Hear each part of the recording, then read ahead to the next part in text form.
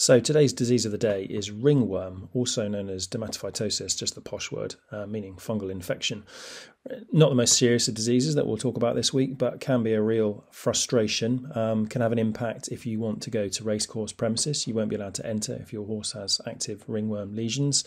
Can be a problem in immunocompromised horses because it can uh, become quite generalized across the body, and it is zoonotic, so it can affect people. So uh, it can be really itchy and unpleasant if it spreads to you uh, or other members of the family.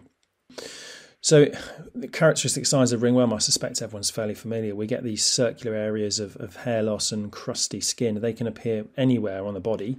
Um, they don't tend to be painful, which can uh, help you differentiate them from bacterial infection, but they can be itchy. Quite often, they're not associated with any kind of discomfort at all, so they don't seem to bother the horses particularly. If they get around areas of tack, though, they can be an issue. They can rub. They can become sore. So uh, they can affect the horse's performance if they if they affect those areas. Uh, it's something that's relatively easy to treat. We need to confirm the cause, though. We don't want to be using antifungal or antibacterial drugs indiscriminately. So, um, the best way to confirm that it is a fungal rather than a bacterial infection is to get the vet to take some samples. So, they can take hair plucks and they can try and find the fungal organisms by looking down a microscope, or a more accurate way, a more reliable way, um, although a slower way, is to do a culture or preferably uh, the quick and easy way of getting a diagnosis is to look for the the um, DNA from the affected from the fungal organisms that will be present in the hair shafts, and if that DNA is there, you can be confident that the organisms are there, the fungal organisms. What the DNA doesn't tell you though is whether the infection is active or whether you've already killed it. So it's good for the initial diagnosis. It's not so great for monitoring, but your vet can guide you on all this if you speak to them if if you've got concerns.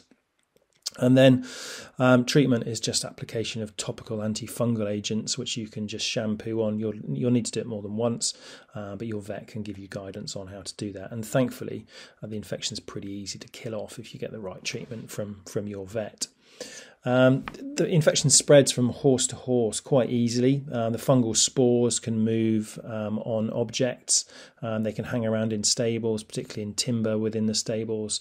So, if you have had ringworm infection, you need to do a really, really thorough job of disinfection uh, with an antifungal agent. Just again, speak to your vet, make sure that you've got an antifungal product um, that's going to kill fungal spores. Some routine cleaning, cleansing agents for stables won't kill the spores, so make sure you get something that's going to be effective uh, because otherwise it can hang around in your stables for ages, and new horses that come in, particularly young horses that haven't got a great immunity, will continue to pick up the infection. So, dealt with promptly and effectively, it's really not too much of a problem.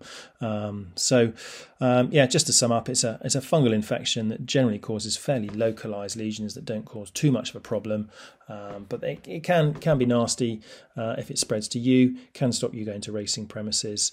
If you're concerned about it, speak to your vet, get it diagnosed, and then get some topical uh, antifungal treatments, and that will relatively quickly get rid of it.